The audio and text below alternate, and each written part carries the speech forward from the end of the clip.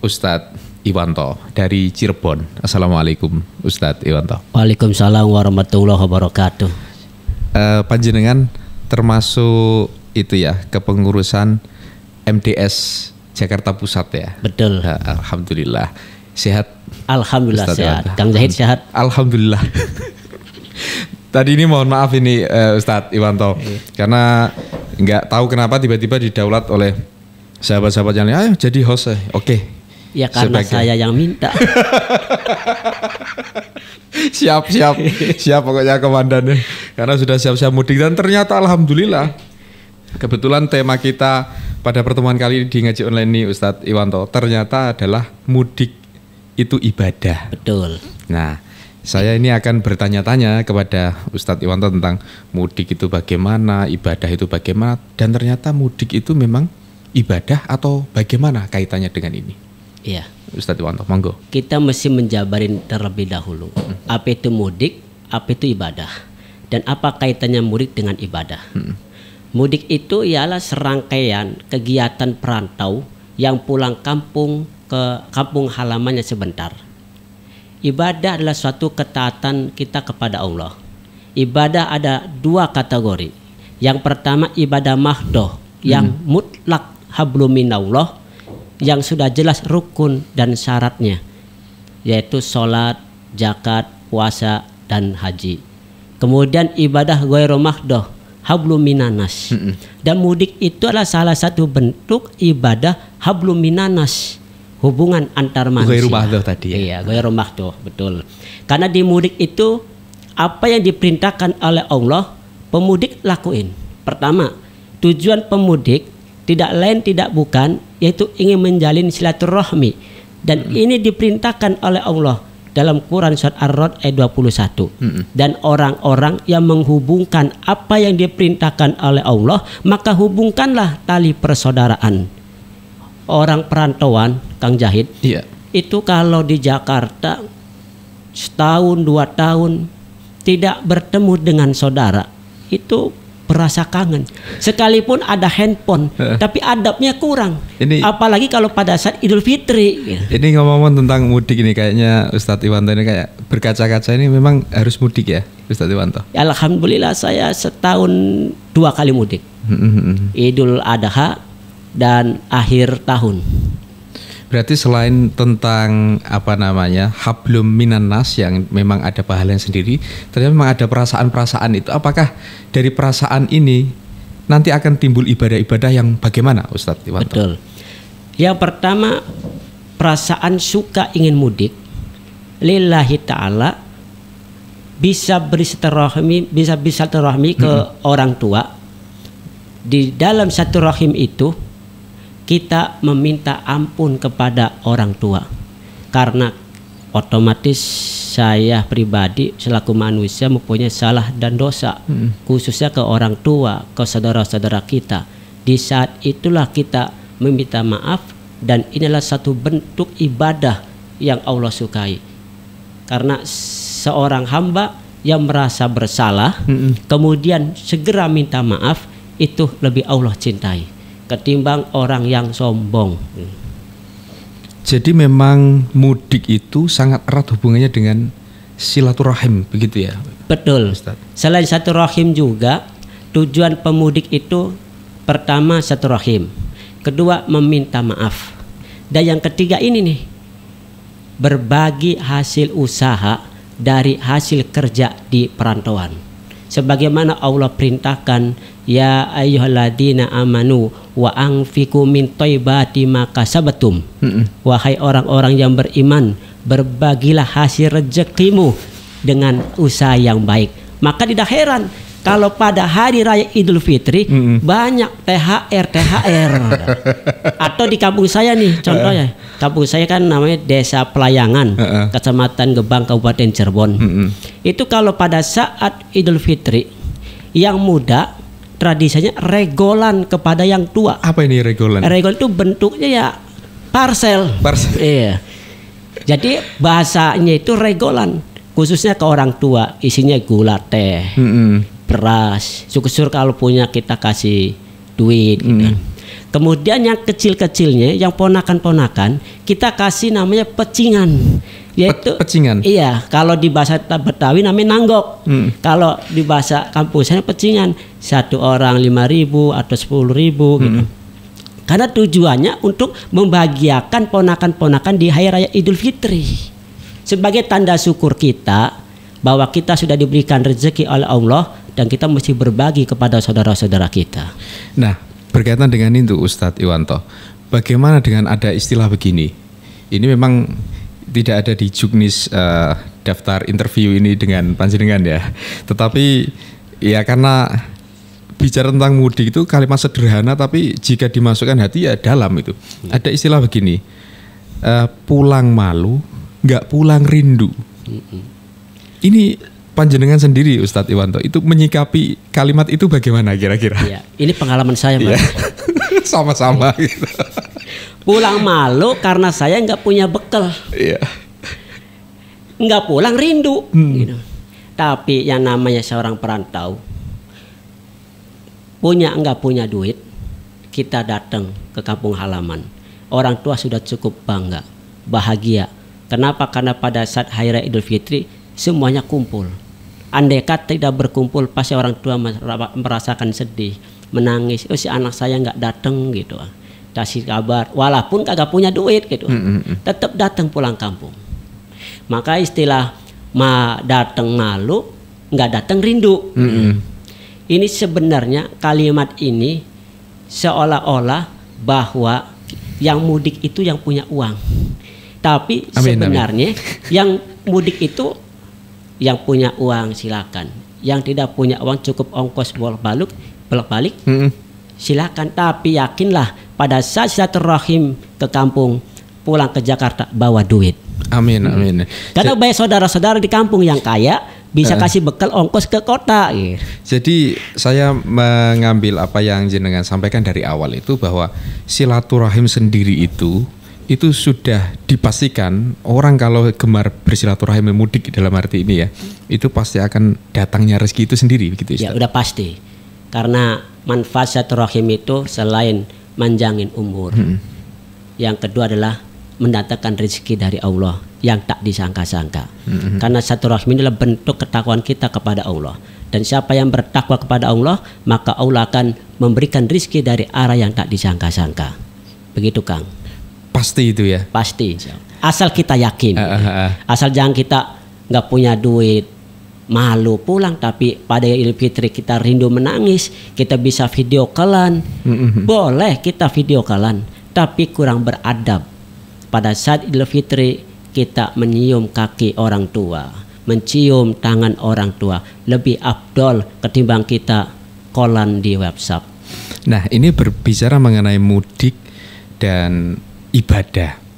Kemudian ada tradisi unik di Indonesia tentang apa namanya saling bermaaf-maafan. Sedangkan di di selain Indonesia itu tidak ada. Nah, menyikapi hal-hal semacam ini, apakah boleh juga ini dikatakan ini apaan sih atau bagaimana, Ustadz Iwanto? Iya. Karena di Indonesia guru-gurunya bersandar kepada Wali Songo.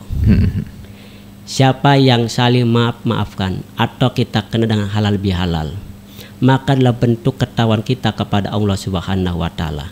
Dan Allah akan menyediakan satu tempat surga di mana luasnya seluas langit dan bumi untuk siapa? Untuk orang-orang yang bertakwa. Siapakah yang bertakwa itu? Yaitu orang yang maaf dan memaafkan. Maka redaksi ayat ini diaplikasikan ke dalam Islam Nusantara. Seperti halnya pada saat Bung Karno menghadapi apa namanya eh, perseteruan politik maka cetuslah dari bawah Wahab Asbullah yaitu halal bihalal. Nah di situlah akhirnya tradisi ini berlanjut terus sampai saat ini dan mungkin ila yaumil akhir. Baik, Ustadz Iwanto, saya tertarik dengan apa yang jenengan ungkapkan tentang mudik itu ibadah dan halal bihalal. Mungkin kiranya panjenengan bisa memberikan apa eh, wejangan tentang mudik itu ibadah dan halal bihalal itu sendiri. Monggo, Ustadz Iwanto. Mudik siapa kiranya yang tidak mendengar istilah mudik? mudik itu bisa menggerakkan lautan manusia dari satu tempat ke tempat lainnya. Sedangkan ibadah adalah bentuk ketaatan kita kepada Allah Subhanahu wa taala. Bila mana seorang pemudik mempunyai niat yang lurus karena Allah Subhanahu wa taala. Salah satu tujuan dari pemudik yaitu ingin menjalin silaturahim. Yang kedua, meminta maaf dan memaafkan kepada saudara kita, orang tua kita terlebih utamanya. Yang ketiga adalah bahwa pemudik tujuannya ingin berbagi hasil usaha dari apa yang kita dapat di ibu kota. Yang keempat, seorang pemudik mempunyai tujuan pada saat hari Idul Fitri yaitu melepas rindu kampung halamannya di mana kita dilahirkan, dibesarkan dan punya kenangan yang masa masa lalu yang begitu indah adanya di kampung. Dan kampung halaman punya emosional yang begitu tinggi karena sering dianggap sebagai akar dan identitas budaya kita berawal sejauh mana pun seorang perantau dari negara mana pun atau dari kota mana pun bahkan bisa mengepakkan sayapnya untuk menjelajahi dunia.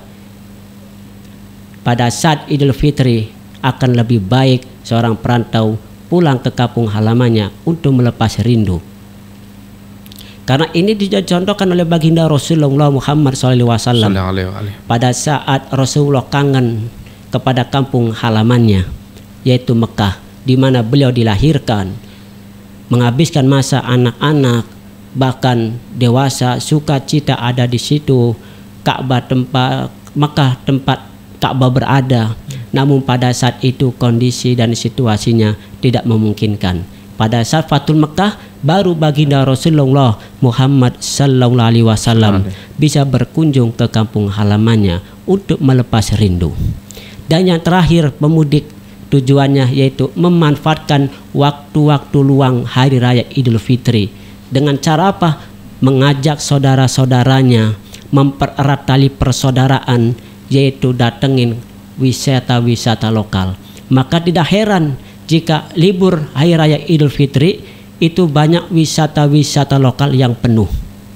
Bahkan di Cirebon sendiri semua wisata membludak dari ziarah padat dari uh, berwisata ke pantai padat, ke gunung juga padat, karena di situlah saudara yang mudik itu mengajak saudara-saudaranya untuk mempererat tali persaudaraan setelah kita bisa terrohim, setelah kita saling maaf memaafkan, setelah kita berbagi rejeki, maka kita ajak saudara-saudara kita untuk berwisata. Di situlah keakraban timbul kembali. Makanya mudik adalah suatu ibadah yang di dalamnya penuh saling sukacita, saling maaf memaafkan, saling silaturahim dan memperat tali persaudaraan. Kiranya begitu Kang Jahid. Baik, Ustadz Iwanto. Nah ini tentu ada adab-adab atau akhlak ketika mudik seorang anak yang mungkin satu tahun atau lima tahun bahkan sepuluh tahun nggak nggak pulang-pulang itu. Kadangkala kita ini dari perantauan tuh mikirnya wah ini pulang nggak ya? Ada juga yang mikirnya ini harus cepat pulang ya atau bagaimana? Nah akhlak-akhlak apa yang harus didahulukan ketika kita harus mudik sehingga kita memperoleh ibadah itu? Iya. Kalau bagi pemudik yang akan mudik mm -mm. perlu dijaga adabnya yang pertama yaitu sebelum mudik menyampaikan maaf kepada para tetangga di sekitar rumah atau kontrakan. Hmm. Memastikan kontrakan atau rumah kita aman. Jangan sampai kita mudik bencana kebakaran. Hmm. Yang kedua lapor ke Pak RT.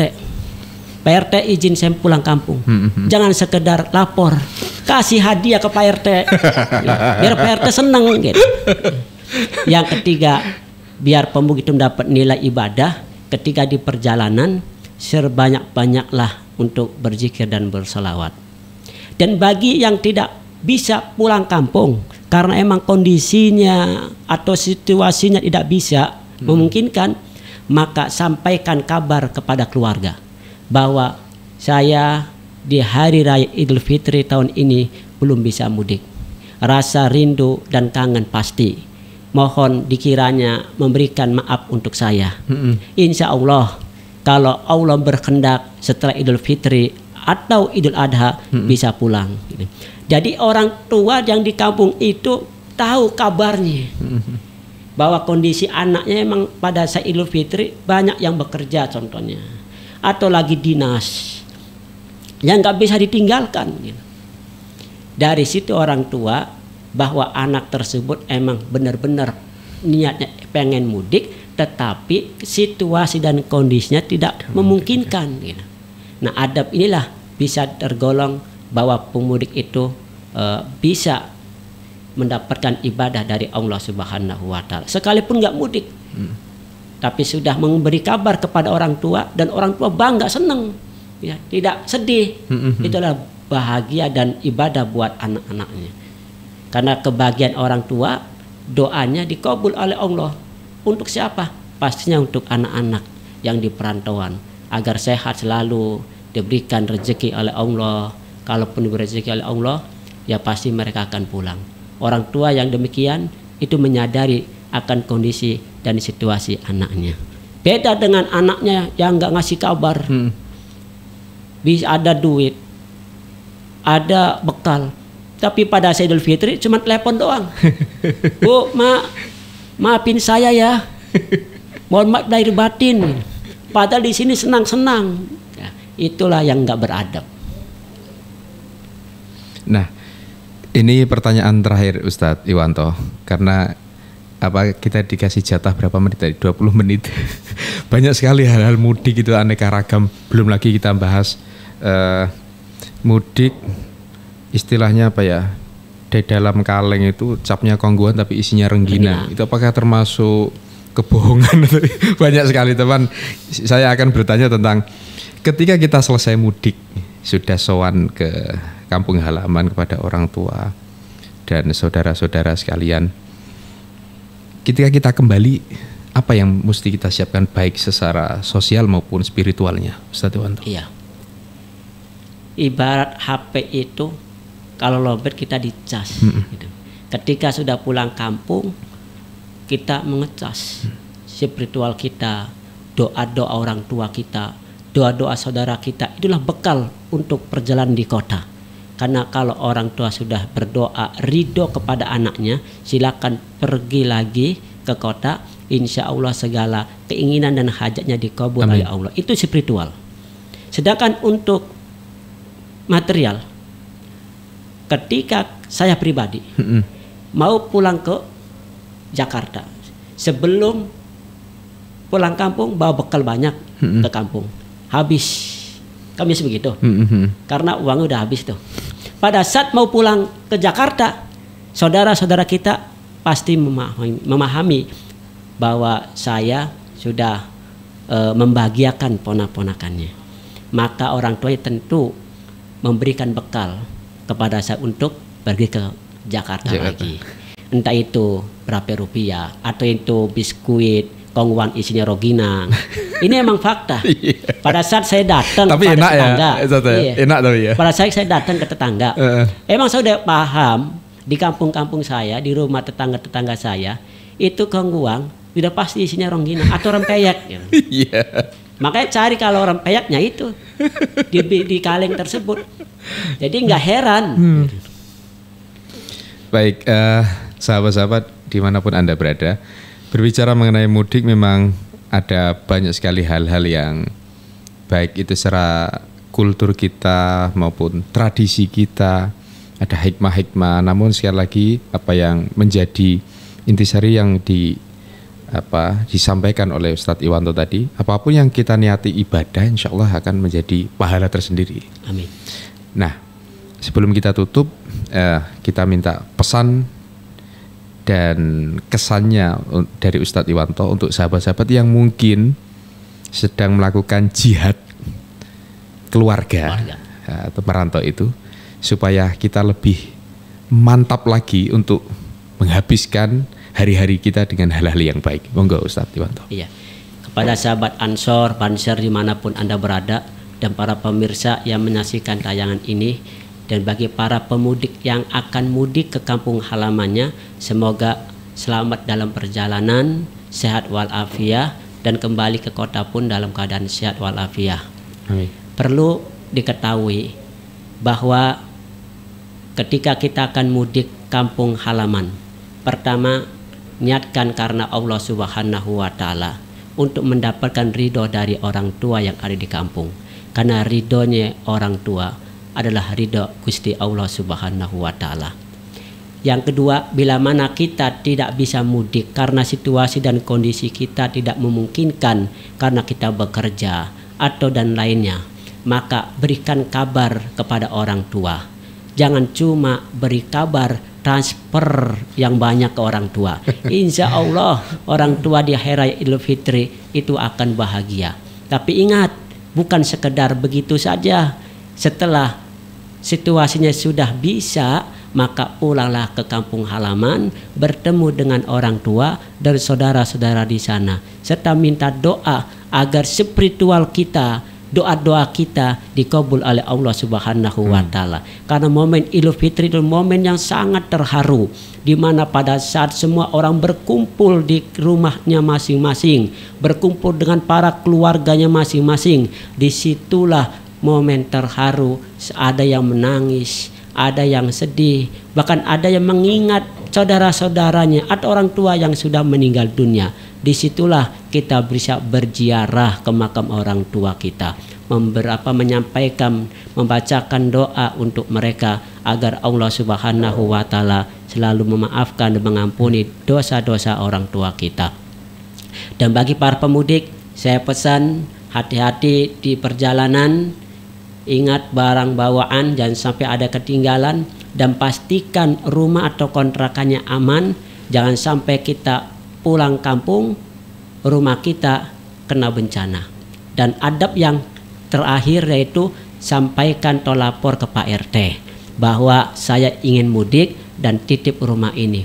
Bukan sekedar titip tapi kita punya punya adab sebagai orang timur kasih THR ke Pak RT atau para tetangga yang ada di sekeliling rumah kita. Insya Allah perjalanannya selamat dan penuh keberkahan dari Allah Subhanahu wa Ta'ala.